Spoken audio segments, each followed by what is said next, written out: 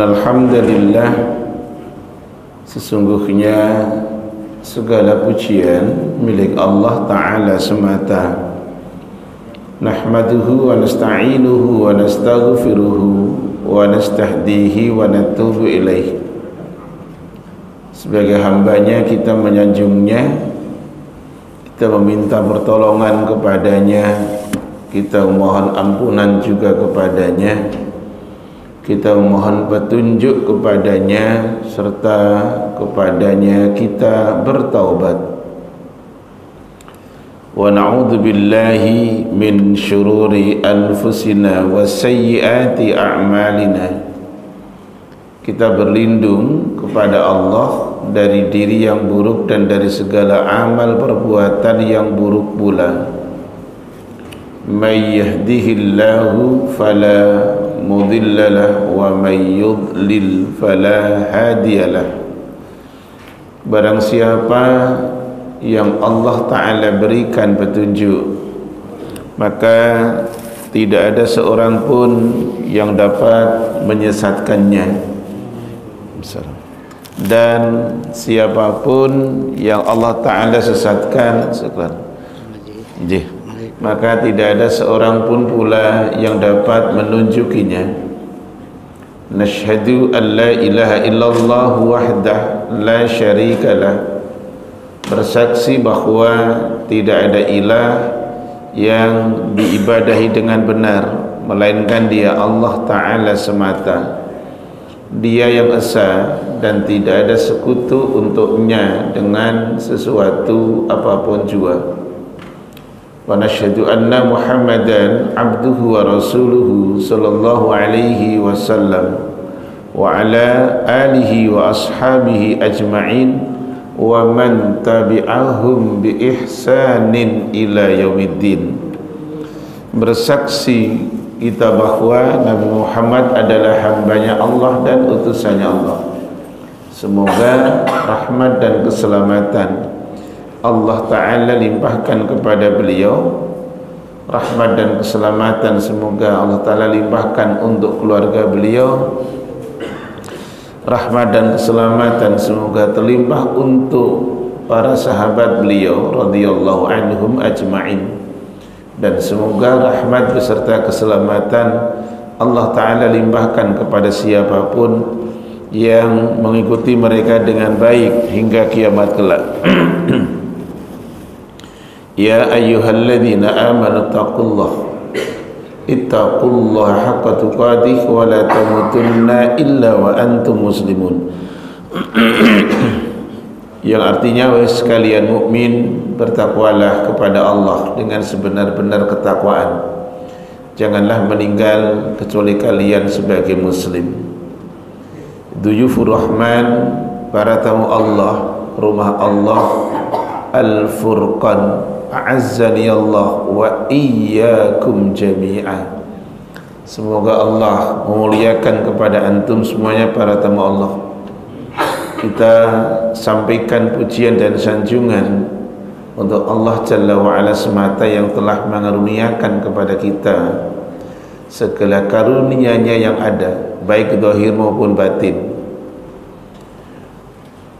Untuk itu Allah Ta'ala sampaikan ada satu penggalan kalimat ayat begini fadkuruni ashkurukum washkuruli walatakfurun Al-Baqarah 152 ingatlah kalian kepadaku akan nikmat tentu maka aku ingat kepada kalian. Bersyukurlah kepadaku jangan kalian menggufuri nikmatku. Konsepnya ingat nikmat kemudian bersyukur. Bersyukur itu adalah yazidu bitta'ah wa yankusu bil isyan dengan tambah akan ketaatan maka syukur akan berkurang iman berkurang ketika dilakukan kemaksiatan. Kita akan melanjutkan kaji kita dari kitab Riyadus Solihin karya Al-Imam An-Nawawi rahimahullahu taala kita masuk di hadis 159 taib.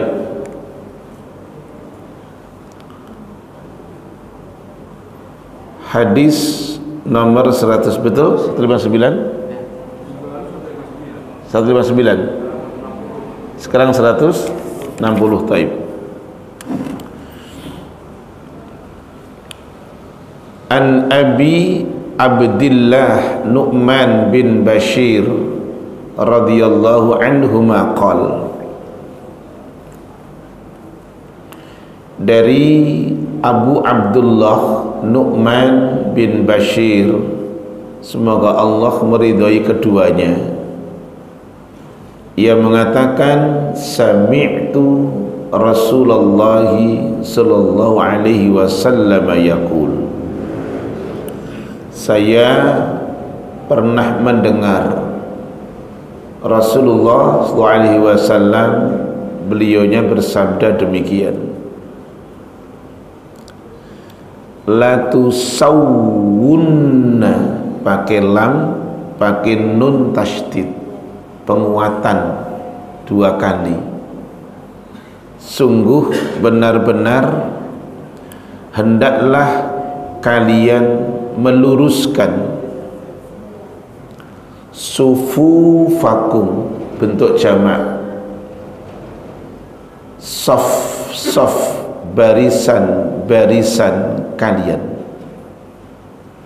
kita masih berbicara tentang al-amru bil muhafadhati ala sunnati wa attabiha. Kita masih berbicara tentang perintah menjaga kebiasaan Rasulullah wasallam dan adab-adabnya.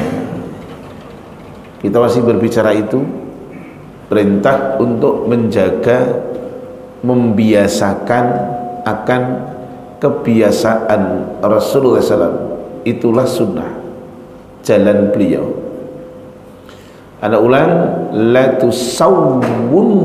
sungguh benar-benar hendaknya kalian meluruskan sufufakum.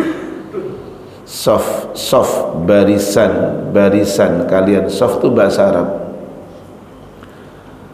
Au la yukhalifanna atau sungguh benar-benar dia Allah akan mengubah Allahu Allah baina wujuhikum di antara wajah-wajah kalian. Hadis ini sahih dikeluarkan oleh Al-Imam Bukhari dan Al-Imam Muslim. Kemudian Al-Imam Muslim meriwayatkan tersendiri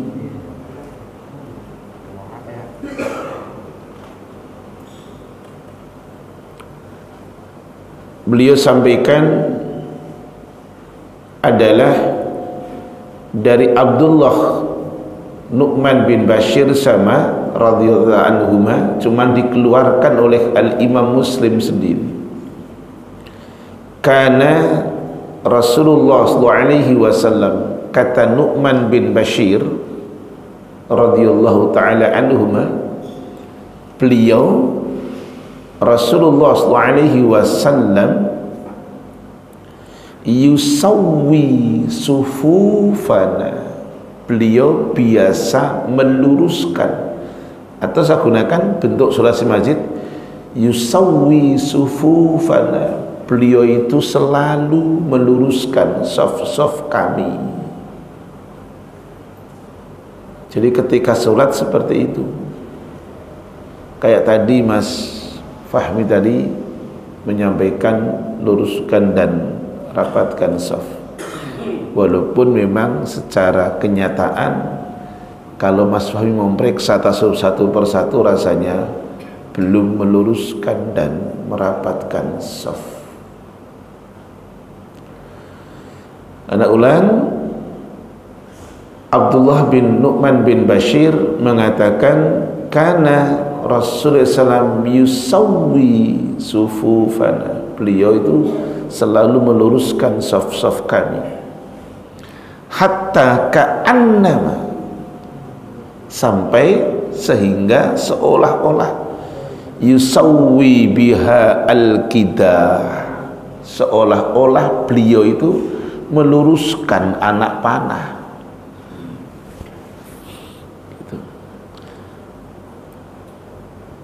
kemudian hatta idza ra'a anna qad aqalna anhu hingga ketika dia tahu dia melihat bahwa kami telah memahami tentang itu ketika disuruh luruskan soft hatta idza ra'a hingga ketika dia melihat dia tahu qad aqalna anhu. Sungguh kita ini para sahabat sudah mengetahuinya sudah memahaminya. Summa kharaja yauman. Kemudian beliau keluar di satu hari.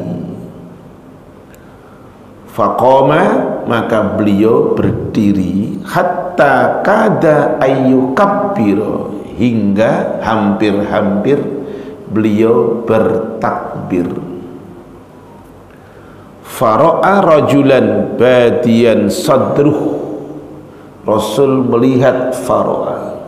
Rajulan seorang laki-laki Badian sadruhu Ada seorang laki-laki yang sadruhu dadanya Badian nonjol ke depan. Jadi dibusungkan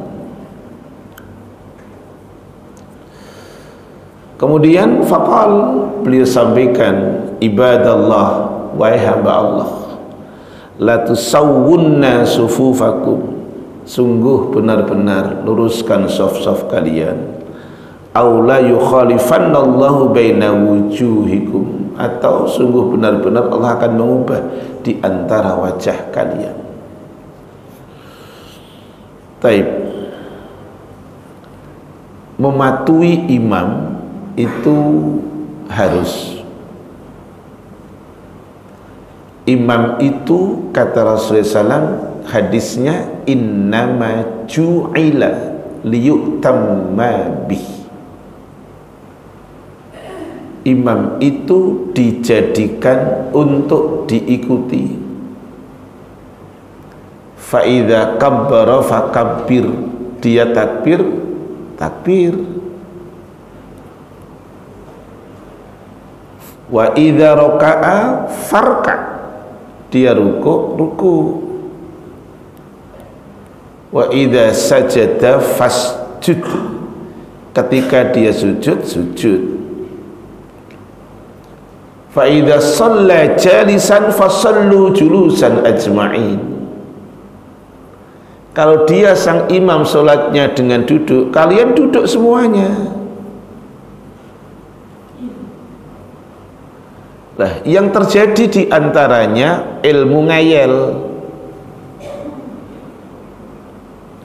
Imam sudah berdiri, masih sujud, ya, doanya panjang. Iya. Imam itu dijadikan untuk diikuti.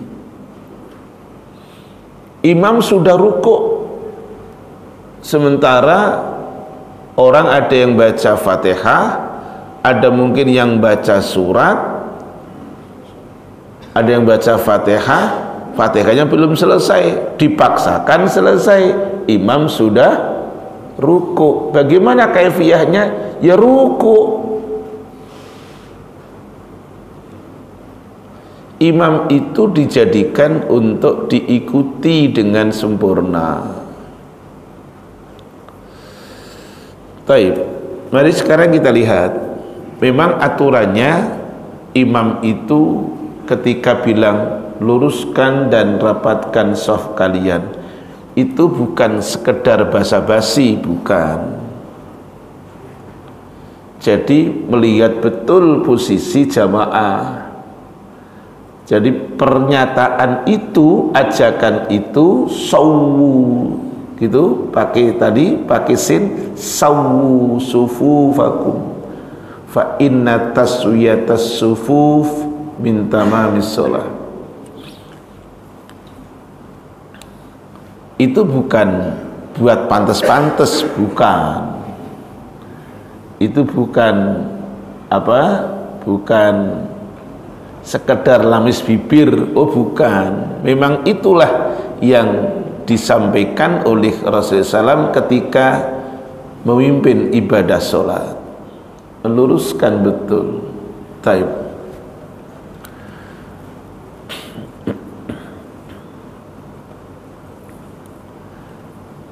Apa makna dari latu sawunna sufufakum taswiyatus taswiyatus sufuf i'tidalul qa'imin? Meluruskan saf masing-masing i'tidal qa'imin berdirinya tegak.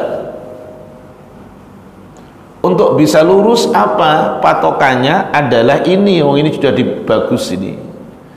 Tumit paling belakang berada di garis yang ada di belakang. Yang dipakai mana ini kalau di sini? Garis ini kan bukan depan ini ya? Ana coba antum berdiri Mas MC. Ana lupa tadi, berdirinya di mana tadi? Ah. Antum perhatikan Mas MC berdiri, tumitnya tidak lurus di garis. Sampai ke sana pun nanti tidak akan lurus.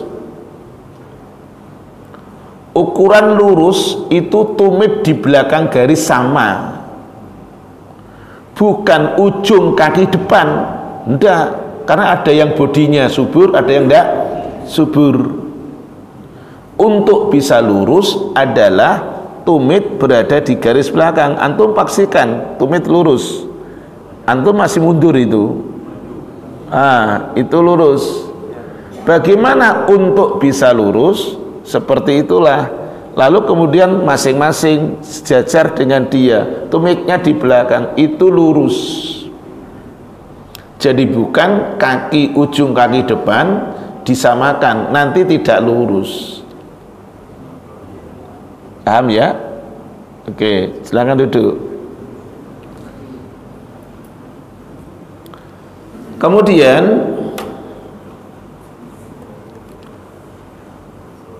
tadi dikatakan bahwa laki-laki yang menonjolkan dadanya tadi ke depan karena tidak tegak itu adalah dia dianggap keluar tadi dia telah menyelisihi soft yang ada.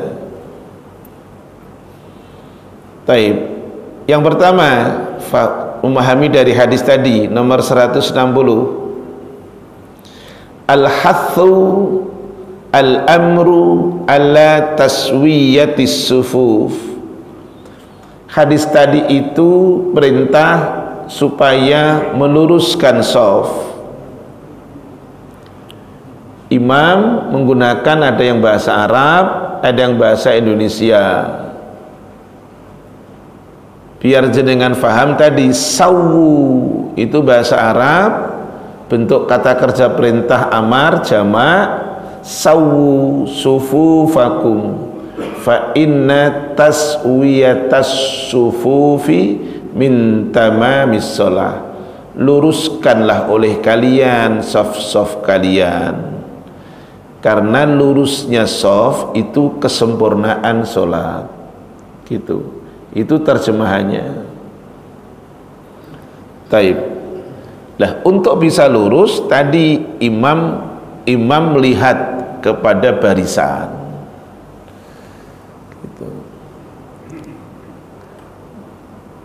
Terkadang ada yang lihatnya tadi lihatnya apa namanya langsung ke ke depan imam pastikan kalau jamaahnya sudah meluruskan dan merapatkan soft.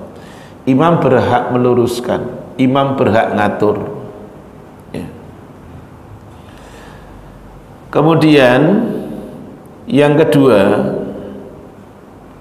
jawazul kalami bainal iqamati wad dukhuli fis boleh bicara boleh ngomong antara iqamah dan masuk solat. Siapa yang ngomong? Imam. Boleh bicara antara iqamah dan solat. Taib. Kemudian kalau sudah sholat bicaranya cuma dua satu untuk wanita tepuk tangan. Kalau imamnya salah yang laki-laki membaca subhanallah. Kalau imamnya keliru. Makanya wanita tidak dianjurkan tidak diperintahkan mengucapkan subhanallah. Karena nanti imam mikir itu suaranya Fatimah kali gitu kalau tepuk tangan kan nggak diketahui itu suaranya Zainab apa Fatimah apa Mesaroh kan enggak. Taib ya. Kemudian dan memang aturannya begitu. Kemudian yang ketiga wuku'ul wa'idi min jinsil jinayati bahwa terjadinya ancaman bahwa merupakan satu al-wa'id ancaman ketika adalah min jinsil jinayah adanya pelanggaran. Apa itu? Al-mukhalafah menyelisihi. Apa yang diselisihi? Sunnahnya Rasulullah wasallam. Rasul tadi bilang luruskan dan rapatkan soft kalian. Gitu. Sementara kita lihat nih sekarang akibat menyelisihi melanggar dari ketentuan Rasulullah SAW apa yang kita dapat? Lihat ayatnya dibaca. Suratnya 24 An-Nur. Ayatnya ayat 63 monggo. Sebentar. Sampean mau teh manis mau? Mau ya? Nyata kasih. Saya ngelihat saya ngelihat Pak Ketua Yayasan sudah manis jadi nggak usah dikasih manis saya ya iya ya nggak usah. ya sekarang. Dah ini yang kata orang sudah cair herang aja. Ya Pak Pepen betul ya? Ah, cair herang. Oh, saya ngelihat jamaah udah manis-manis nah ya, ya. Yang artinya janganlah kamu jadikan panggilan Rasul Muhammad SAW di antara kamu seperti panggilan sebagai sebagian kamu kepada sebagian yang lain. Sungguh Allah mengetahui orang-orang yang keluar secara sembunyi-sembunyi di antara kamu dengan berlindung kepada kawannya. Maka hendaklah orang-orang yang menyalahi perintah Rasulnya takut akan mendapat cobaan atau ditimpa ajab yang pedih. Ini dalilnya. Hendaklah takut Siapa pun yang menyelisihi akan perintah Rasul mendapatkan azab yang sangat pedih. Di mana bukan nanti di dunia. Sekarang saya berikan dalil hadis. Arba'in nomornya 9. Antum buka Google aja kalau ada paketnya. Hadis Arba'in nomornya 9 Hadis dari Abu Hurairah Abdurrahman bin Sakhr. Ya silakan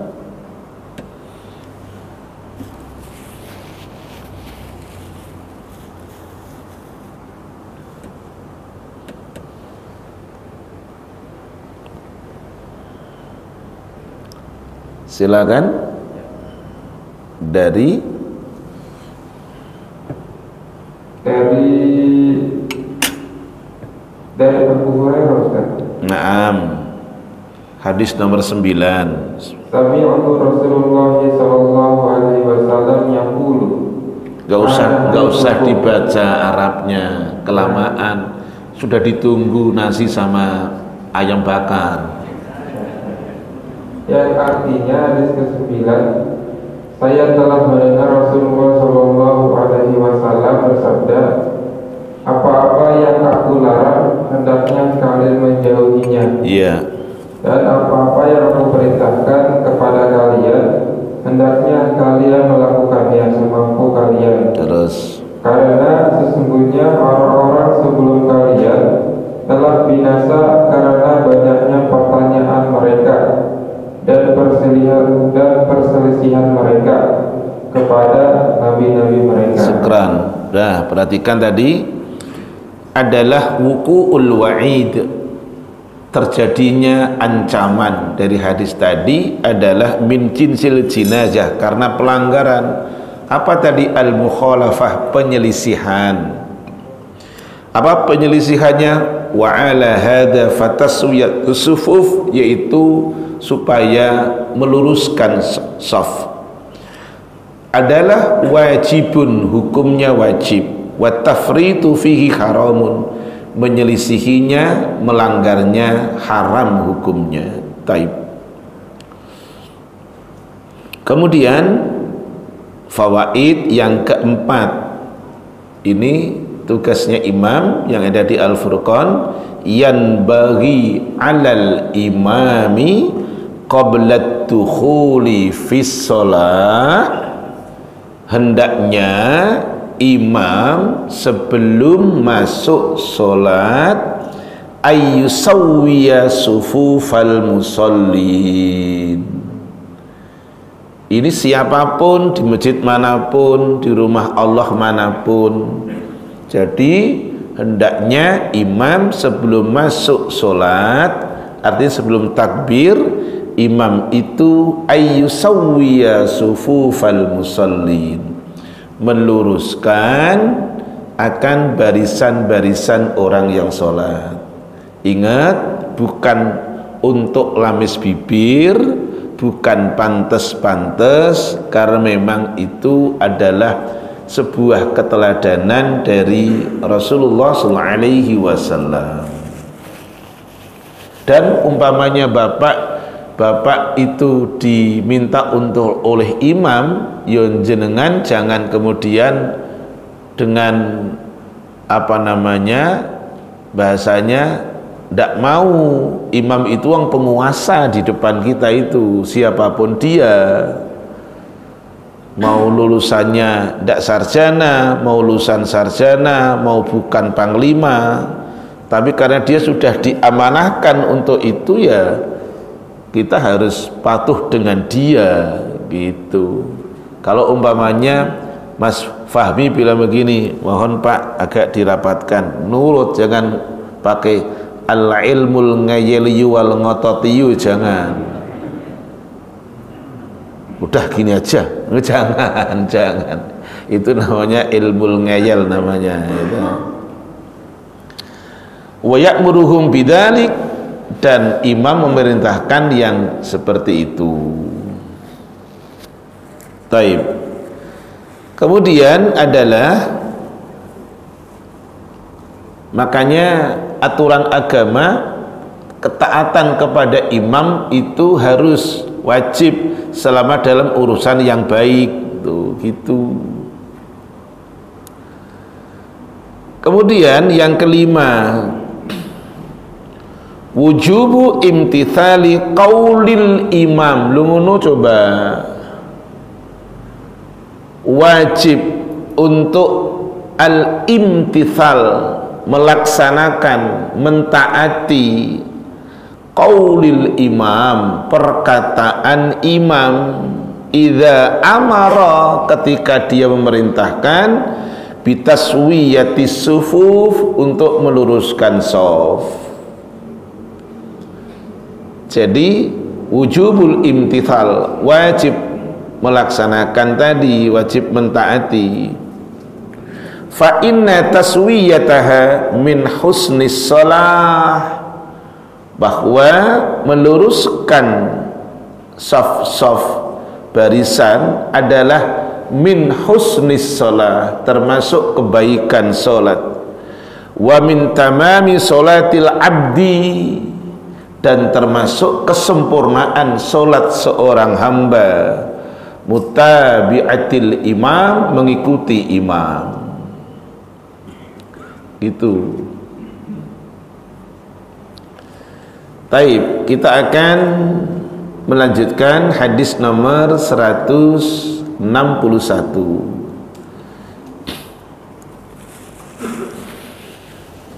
Ini sunnah Rasul Karmasi yang 161 Yang jarang Ya banyak mungkin banyak ya kan? Tapi ada ada juga. An Abi Musa Al-Ash'ari radhiyallahu an qal.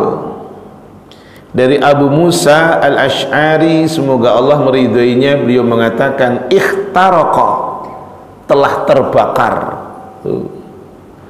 Baitun satu rumah bil Madinah di Madinah. Jadi Abu Musa al-Asyari mengatakan telah terjadi rumah di Madinah itu terbakar. Ala ahlihi atas penghuninya. Jadi rumah itu terbakar. Minal lail di satu malam. Falamma huddisa tatkala Rasul diceritakan falamma huddisa Rasulullah sallallahu bisya'nihim maka tatkala Rasul diceritakan akan hal tersebut masalah tersebut qal Rasul kemudian bersabda inna hadhihin nara. Sesungguhnya api ini atubun lakum musuh kalian. Fa'idha nimtum. Apabila kalian tidur Fatfi'uha Padamkanlah api itu Ankum dari kalian Hadisnya sohih Dikeluarkan oleh Bukhari Muslim. Jadi kalau bapak ibu sare maaf yang bukan yang orang sudah maaf Pak Bapen sare itu kasar masalahnya. Saya, saya ngomongnya dengan orang Jawa jadinya. Kalau jenengan sare tidur aturannya begini. Coba. Jadi lampunya nggak terang gitu loh Hadis disepakati oleh Al-Imam Bukhari dan Al-Imam Muslim. Anak ulang. Fa idza nimtum fatfi'uha ankum. Apabila kalian ingin tidur tuh fatfi'uha padamkanlah api itu ankum dari kalian. Matiin tuh lampunya. Berarti matiin lampu itu ada hadisnya gitu. Ada tuntunannya meluruskan soft berarti ada tuntunannya Taib. penjelasannya adalah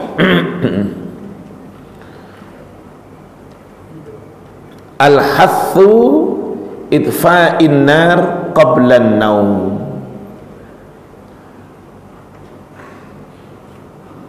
agama memerintahkan kepada kita untuk memadamkan api sebelum tidur.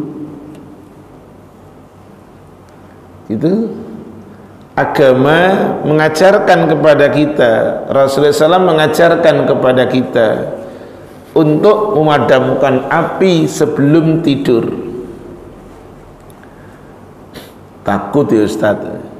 Ya tidak takut asal tidur karena tadi karena kebiasaan kalau gelap-gelap katanya suka ada hitam-hitam di pojokan ustadz gitu ya. ya mat, mat, matanya merem biar jenengan tidak kelihatan di pojokan ada hitam-hitam. Yo hitam mau masalahnya gelap ya.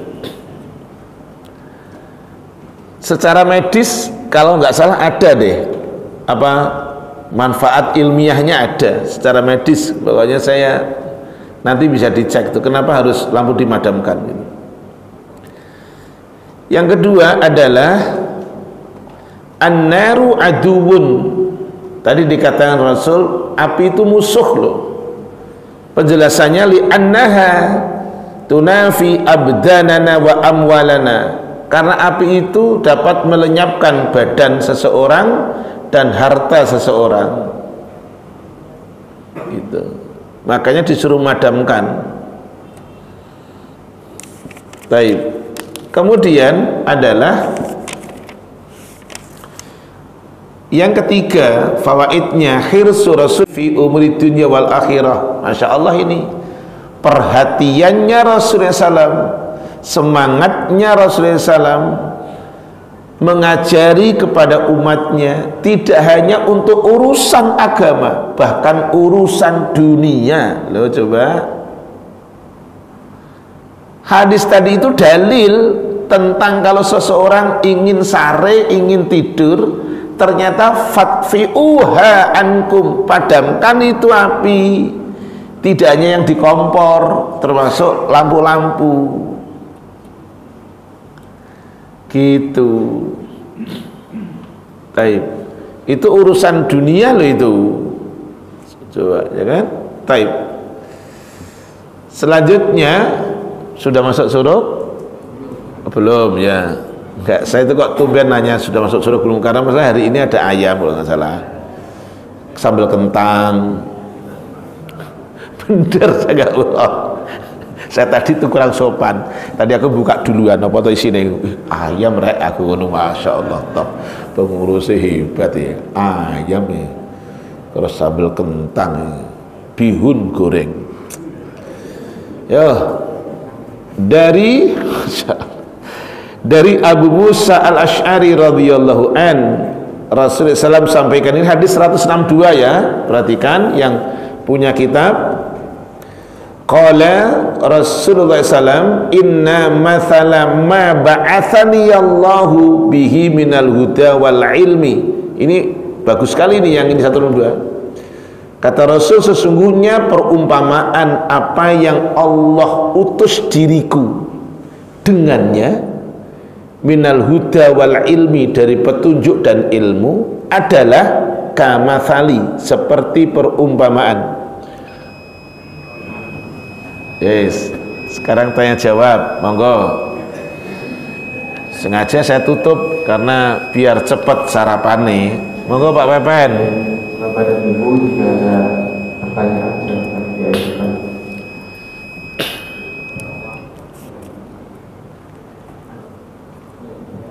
Assalamualaikum warahmatullahi wabarakatuh. Waalaikumsalam warahmatullahi wabarakatuh. Sebentar jenengan jangan buru-buru lah berikan orang lain menjawab. Emang jangan sudah pernah naik kereta was? Belum kan? Jangan. Kita santai aja naik kereta diesel aja. Yuk monggo. Pertanyaan ini pertama mengenai yang tadi disampaikan. Uh, bagaimana kalau kita mendengar imamnya itu bacanya kurang baik? Satu gitu ya. jadi kita lihat baik bacanya seperti apa. Nah, yang kedua apakah sholat pahala sholat berjamaah yang 27 derajat itu itu juga karena disebabkan oleh imam karena kita sholatnya berjamaah. Kan imbang kami. Coba Ustaz, mohon penjelasan. Terima kasih. Syukran. Waalaikumsalam warahmatullahi wabarakatuh. Sekarang pakai rumusan dalil bahwa seseorang itu didudukkan sebagai imam mengikuti rumusan dalil adalah yang paling bagus Qur'annya pengurus yayasan, pengurus DKM sudah sepakat, saya yakin sudah itifak bahwa di antara yang ada Mas Wahmi itu yang tingkat hafalannya paling banyak. Tilawahnya paling bagus. Tartil apa tartil? Tartil itu engkau menjelaskan hak-haknya huruf. Tartil itu engkau mendudukkan hak-haknya huruf. Itu tartil. Itu disampaikan oleh Anas bin Malik radhiyallahu an. Dikeluarkan oleh Al Imam Al Baihaqi rahimahullahu taala. Kemudian kalau dari sisi Quran sama, maka pengetahuan hadisnya yang dicek yang kedua. Di antara yang ada, siapa yang hadisnya paling bagus. Kemudian yang ketiga adalah siapa yang paling dulu masuk Islam. yang terakhir baru dari sisi usia oh, gitu. Jadi usia bukan ditempatkan yang pertama